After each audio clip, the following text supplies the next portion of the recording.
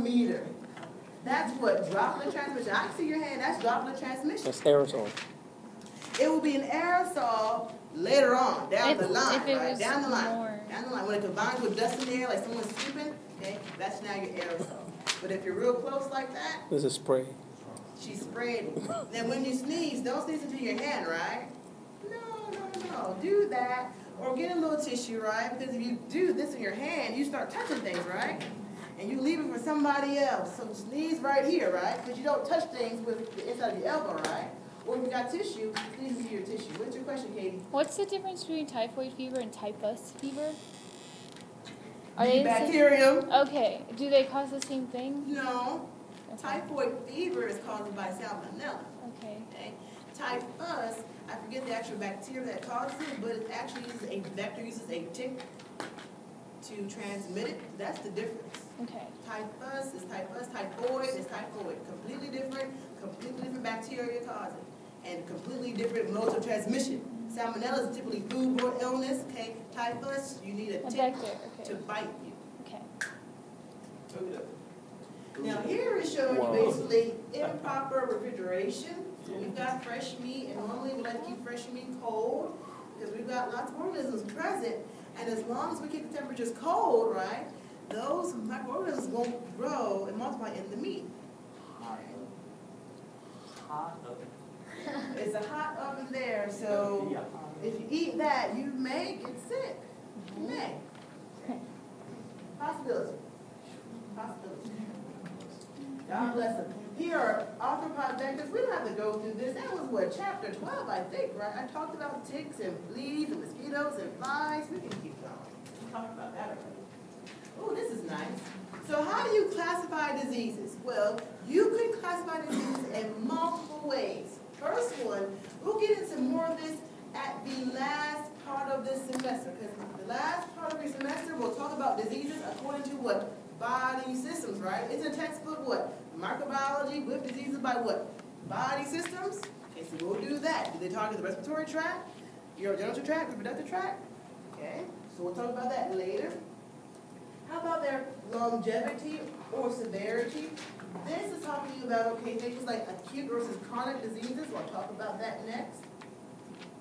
How about how they spread to their host? Are they communicable or non-communicable? This again, I'll talk about on the next slide. And the last one, okay, the effects on populations. Whenever you talk about populations and diseases, that is epidemiology, okay, got it? So epidemiology, you're talking about the frequency of disease, okay, and where is it spreading, what's the cause of disease, right? What's the frequency of occurrence, and where is it, right? Whenever you're talking about populations and diseases, that's what epidemiology. Now, these next little terms goes here, right? Their longevity and their severity, okay? Right here. Okay, so what's acute? An acute disease basically happens fast. In other words, you get your symptoms real quick. The symptoms typically are severe, so a quick onset of diarrhea, right? A quick onset of throwing up, but then after a day or two, it's all done. So in your acute diseases, you've got basically a short incubation period, right? The onset of disease is quick.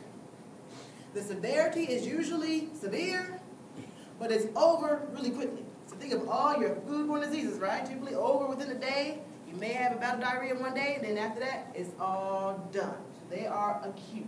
Quick, fast, and in a hurry. Also the cold. Even though the cold is not typically severe, your common cold will also be placed under acute because you get it quickly. The symptoms are not that severe, but within a week or so, you're past your cold. So that's also under acute. Now let's look at chronic, okay? A chronic disease, okay, has a long incubation period. The symptoms are, typ- are typically not severe. Say typically, there's always exceptions to the rule, but typically they're not severe and they last a long time. Make sense? Acute, what? They're very quick. After a day or two, you're done with that disease. But in chronic, long incubation period, symptoms not that severe, but here, it lasts a long time. So think of things like TB or leprosy. hepatitis, okay? All these things, what, are chronic, they last a long time. Okay, subacute. Subacute basically goes between acute and chronic. That's it. So subacute goes right here. It goes in between acute and chronic in terms of the severity of disease, in terms of how long it lasts. So bacterial endocarditis, for example, basically that's a bacterial infection of the heart valves. That would be an example of a subacute disease. It just goes right in there. Bacterial endocarditis, in other words, infection of the heart valves. Okay, that's an example of a subacute disease. How about a latent disease? That sounds familiar. You talked about latent viruses, I think. Well, they're not slow. They tend to be inactive. They're inactive. So if you're talking about a latent disease, like a latent virus, they are inactive for a very long time. You have the virus, but it's not doing anything. It's just hanging out in your DNA. Like HIV, for example, it's hanging out with you, or herpes. Okay, that's even worse. So herpes, you can be exposed to the herpes virus, and you will never know you have it. Herpes, just like HIV, it incorporates into your DNA permanently. So there is no cure for herpes. There's no cure. No cure. You have it, it's with you forever. You may not know you have it. Until one day, maybe 10 years later, finally have herpes outbreak. You're wondering, well, where did this come from, right? You don't even know when you're exposed to it. Because herpes, like HIV, is latent.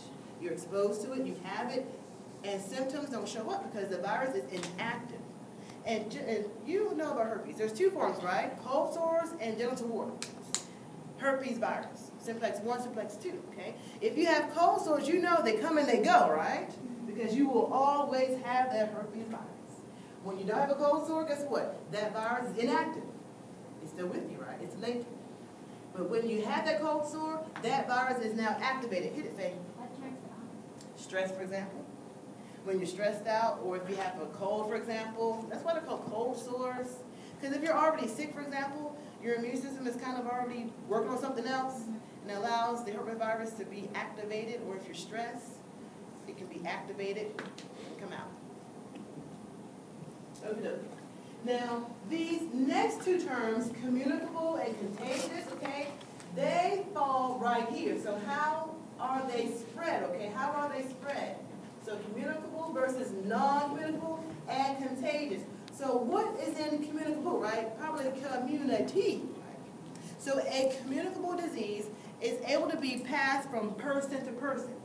Now keep in mind, not all infectious diseases, not all of them, are communicable. Some are, but not all of them. So most diseases like HIV, right, like herpes, like the cold, like the flu, okay, they are communicable, meaning you can get it from somebody else, make sense? So as long as you can get a disease from another person, it is said to be what? Communicable, right? Community. But what about non-communicable diseases? And I mean infectious, meaning they're caused by a pathogen.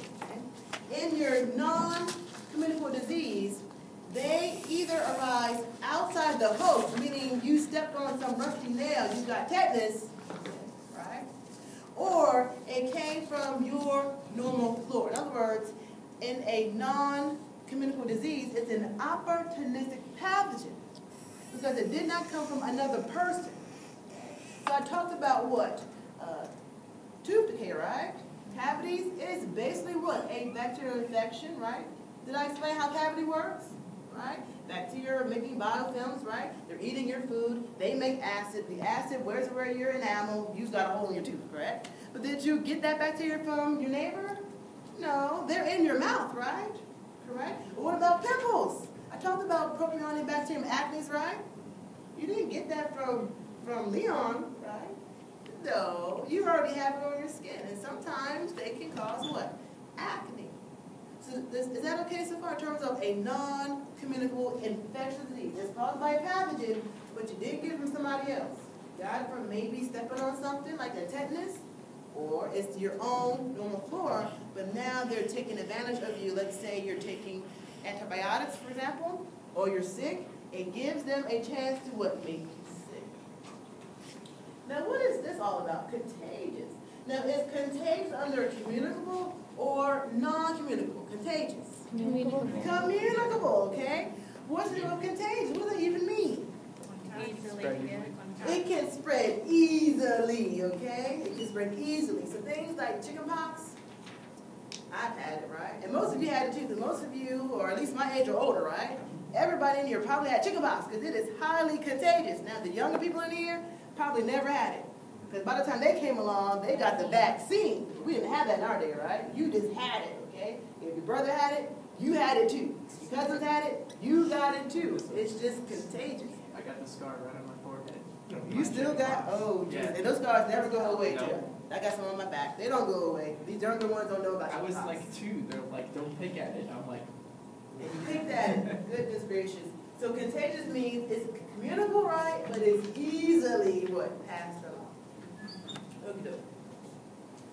Oh gosh, that is a summary. What do you have to know? Right? Acute, right? Chronic, subacute, latent, communicable, contagious, non-communicable. Those guys, what, what I just mentioned, those guys you should know.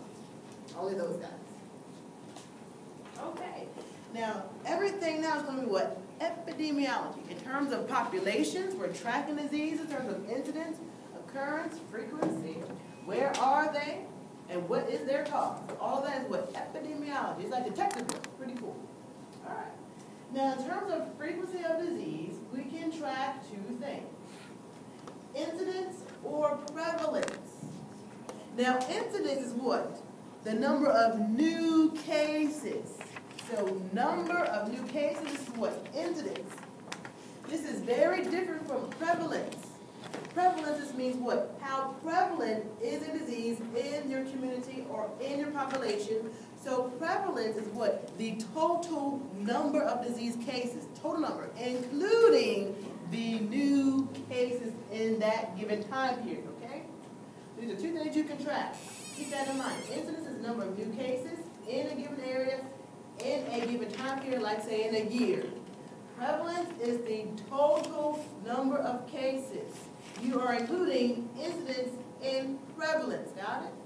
Oh, okay, Now, for example, on this chart, looks like we're looking at prevalence and incidence of AIDS in the U.S., okay? Now, note that you have two different scales. You understand why? Let me ask you this.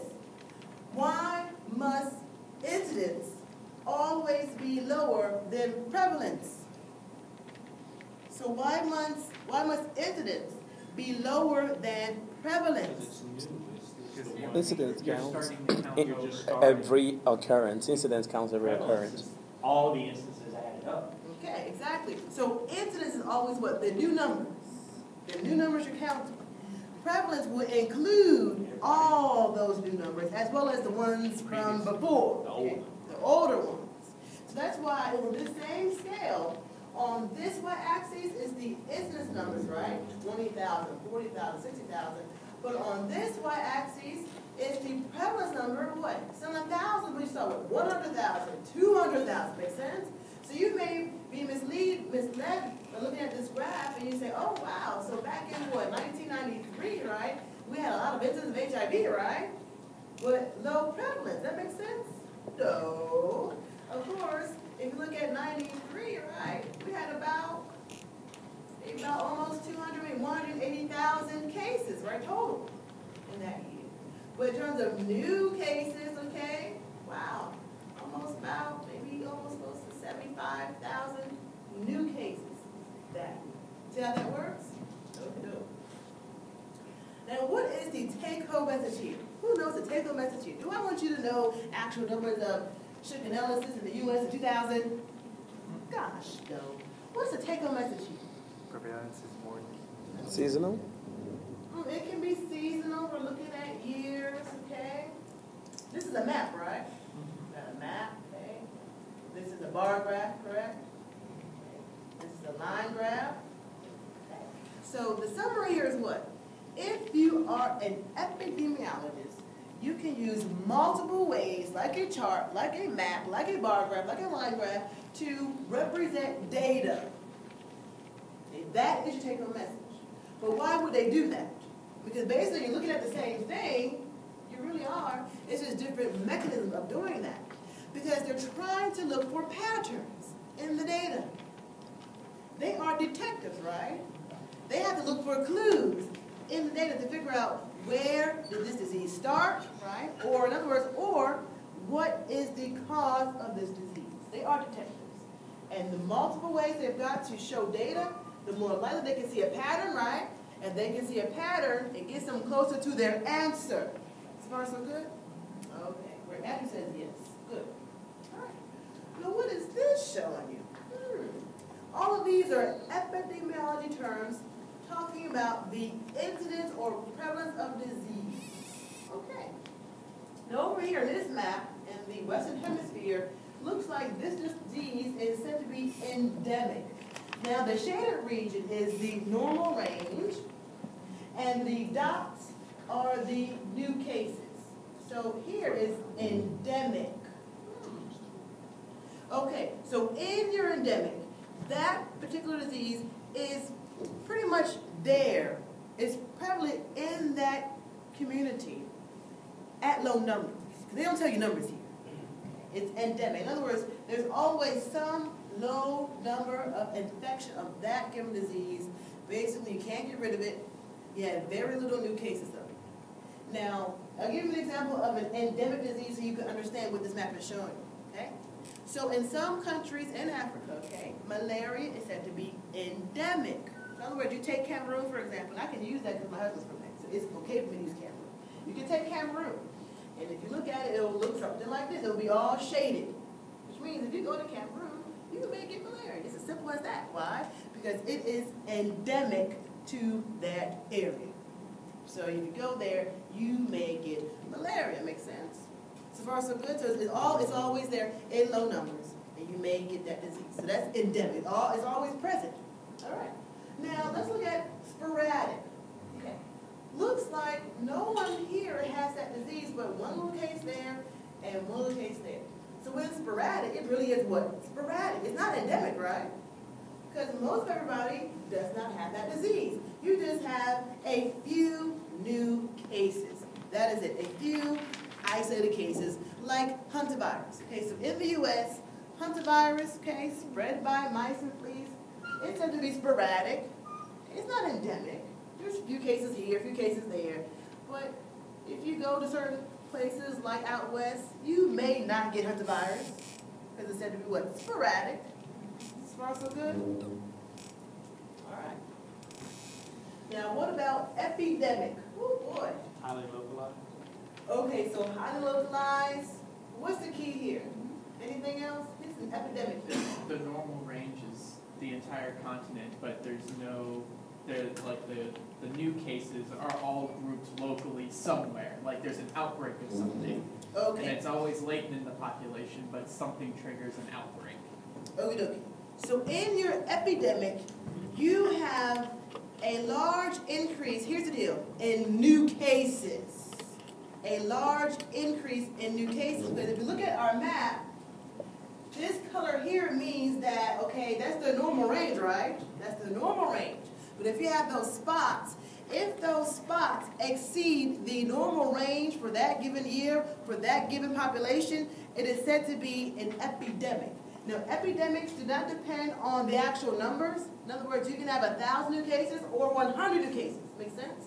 It just means your new cases have exceeded the normal range. That's it. Is it going to be 100 new cases or 1,000? The number does not matter. As long as the number of cases exceed what? The normal range for that area. Make sense? That is your epidemic. All right. Now, here's your pandemic. So what's going on in your pandemic? It's a lot more than normal. Multiple epidemics. Multiple epidemics. It's everywhere. It's world. We have multiple I like nations, that. Epidemic on multiple steroids. continents, right? Oh, I see two continents affected, correct? Do you? Yeah. So in the pandemic, it's an epidemic that's what? World Out wide. It is out of control. So basically, swine flu, right? That was a pandemic a few years ago, right? Yeah, that was a pandemic. It started in Asia, right? But it worked its way over to our side, and it was a pandemic. So it started in Asia as an epidemic, right? Came over here, Pandemic, basically what, through airplanes, simple as that. No. So make sure you have a good handle on these terms in terms of what they mean, okay? Alright. Now, I thought this was pretty cool, okay? What is going on here? In other words, this slide is telling you if you ever had a disease on this chart, your doctor has to report to the CDC. In other words, you become a number Oh, for that year. These are basically the nationally notifiable infectious diseases. If you had, anything on this chart, and by law, your doctor has to report your case to the CDC, and for that year, you are a statistic. So you end up being a number on the line graph, for example, for that year, okay? So hopefully none of you ever had dengue fever or cholera, botulism, okay? If you did, you end up being a number that year, makes sense? Your doctor will have to report your case to the CDC, and you are a statistic. Just FYI. The price for it? Can we put your name too? Do they give a price? They don't put your names, in other words, this is, this is what happens, Seriously? okay? You end up here, right? You end up here. Uh-huh. You end up on that line. That's what happens. You don't get a name tag attached to it, but you end up on new cases for that year for that given disease, okay? So that was pretty cool. Okay, but going back to more stuff. We'll end with nosocomial infection. What, I don't have a definition here, but what's a nosocomial infection? Hospital Hospital. acquired. Yeah, a hospital Acquired acquired infection. infection. That was on the track. I was on your review sheet. Yeah, because it's gonna be on test tomorrow. Oh. Okay. Ooh, In terms of why you feel like sharing now? Let's- Well, Oh, okay. it's out there now. It was on the review sheet, right? Yeah, it was on the review sheet. Okay, so it's a hospital acquired infection. Where do they come from? You got three kind of sources, right? Exogenous, endogenous, and iatrogenic. Oh, not Okay. like Trojan. Exogenous, this is where you go into the hospital, right? And you get some pathogen from the hospital. And bring it home. Yeah, or you bring it home. Mm. So you go to the hospital and you acquire some pathogen at the hospital. You may bring it home or you get stuck in the hospital You done brought with that pathogen. That's exogenous. Endo is going to take Now, back. where are you getting it from? Okay, well, let's think. The hospital is full of sick people, right? Exactly. And many of them have pathogens. Also, many people in the hospital are being treated with antibiotics, which means you are raising the increase of antibiotic resistant bacteria like staphylococcus or enterococcus, right? All those guys. Lots of them are resistant to many antibiotics They come from the hospital. So you're more likely to get MRSA at the hospital than at your house, makes sense? Yeah, bad stuff. Up. Of course, the doctors touch you, right? Nurses touch you. Okay, staff may come in and talk to you. Look it up. Endogenous, this means what, within, right? This means you've already had the bacteria, right? This is basically what your normal flora, right? It's already with you. So you take it to the hospital. Well, you take it to the hospital, but it, it doesn't work like that. So in Okay. endogenous, it's your normal flora, it's your microbiota. It's your opportunistic. Yeah, This is your opportunistic bacteria. Like In other words, you're in the hospital, and let's say you're doing chemotherapy. If you're undergoing chemotherapy, your immune system is now what lowered, which means now any pathogen, I don't want to say pathogen, any opportunistic pathogen now has the opportunity to overgrow and cause disease. Or let's say you're immunocompromised, like you're an elderly patient in the hospital, you're immunocompromised, your normal flora can overgrow and cause disease. So that's your endogenous, it comes from you. But in the hospital, they have the opportunity to overgrow either antibiotics or chemotherapy, for example. Now what about this iatrogenic? Oh boy. It come, this word means from the doctor. So the doctor made you sick. What happened here? It is a result of modern medical procedures, basically phlebotomy, catheters, any kind of invasive procedure, any kind of endoscopy, anything that goes into your body, surgery, anything that's invasive, that is a possibility of getting infected with some pathogen in the environment. So this word here, iatrogenic, means from the doctor. It's from medical procedures. You basically bypass the skin, right? Bypass the skin with a needle or catheter, you've introduced a potential pathogen into your body. These are all sources of what? Hospital acquired infections. Now, nationally, they only account for ten percent of all infectious diseases. So I know ten percent is not a big number, but ten percent of people that have infectious diseases as a result of a nosocomial infection. Got from the hospital. Now, what does this chart show you? I love Venn graphs, don't you? Not really. Okay, this Venn graph is trying to show you what things have to interact with each other in order for someone to actually have a nosocomial infection. Looks like three things have to interact with each other. First of all, you need the actual microorganisms in the hospital environment. That's easy, right? Because you have a lot of sick people there. That's easy, right? Okay. We also have to get these microbes from the environment to a person. So with this, we're going to use doctors, for example, right? Touching people, maybe staff talking to you, droplets coming out of their mouth, maybe even your parents or your children coming to visit with you, right? They can be transmitting things in the hospital environment. So someone has to transmit it to you. Not only that, that's not enough, right? You got the microorganisms, you have somebody transmitting it to you, but you also most likely have to be what? Immunocompromised. Your immune system has to be compromised in some way, because most of these pathogens, most of them are opportunistic. Most of them are. And usually, as long as you're healthy, right? Because the doctors only don't get these sicknesses, what? The sick person does, correct? So you have to be some way immunocompromised. All of these things come together to give you now this what? Nosocomial infection. So as long as you're healthy, right, you'll be fine. If you've been hospital for a long time, you're probably sick anyway, right? And as long as you're sick, right, your immune system is already lowered. Makes sense? That makes sense? So that's why you end up getting sick at the hospital, because you're already sick. Now, how can you all, as future healthcare workers, right? You gotta deal with this, you gotta deal with it, how can you help to lower the incidence of what? Nosocomial infections, it's real simple. It's not all about hygiene and sanitation and disinfection, right? It's all about doing what? This is washing your hands, that's it. Because you touch people, right? And whenever you touch somebody, that's how you are transmitting the microorganisms from the environment to your patient. As simple as washing your hands. That's all you have to do. And that will cut down on nosocomial infections a lot. Just washing your hands. This is good hand hygiene. Everything else doesn't matter. As long as you have filthy hands, you're going to transmit the organism to your patient. You know? So that is the end of chapter 14. You have a quiz starting tonight. I'll give you two days to complete your quiz. Remember, I will give you this afternoon your free code I have to work and kind of lie about to say you will be doing exercises for credit, but you have codes. So I'll give you the codes. Use them. It's free. Go on that's my call. You have fun with it. You have it until December. That's a nice day. I'll see you Thursday.